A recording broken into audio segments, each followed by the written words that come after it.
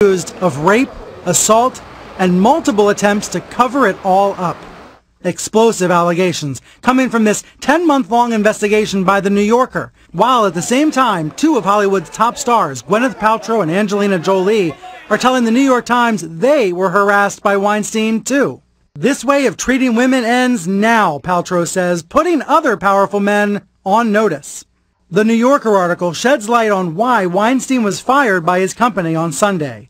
The board of directors knew this story was coming. Published on Tuesday, it says at least 11 women have come forward with misconduct allegations, including three who allege rape. One of those accusers, actress Asia Argento, tells me, quote, I can confirm every word of it. This is our truth, she says, and it's time for the world to know. The New Yorker also unearthing audio from a New York Police Department sting in 2015. Weinstein seemingly admitting to groping a model named Ambra Gutierrez. I don't feel comfortable. Honey, don't have a fight with me in the It's not hall. nice. Please, I'm not going to do anything. I swear, my children.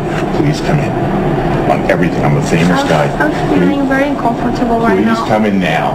And one minute. And if you want to leave, when the guy comes with my Why jacket, you can yesterday go. you touched my breast? Oh, please, I'm sorry. Just come on. I'm used to that. But Come on. are you used to that? Yes, come in. No, but I'm not used to that. I that. won't do it again. Come on. Sit here. The Manhattan DA says the recording is horrifying, but was insufficient to prove a crime. Quote, if we could have prosecuted Harvey Weinstein for the conduct that occurred in 2015, we would have. Weinstein had no comment on the tape, but his spokeswoman said any allegations of non-consensual sex are unequivocally denied by Mr. Weinstein. He says he believed all of these relationships were consensual. Weinstein's in counseling now and hoping for a, quote, second chance from Hollywood. But more and more A-listers are condemning the predatory behavior.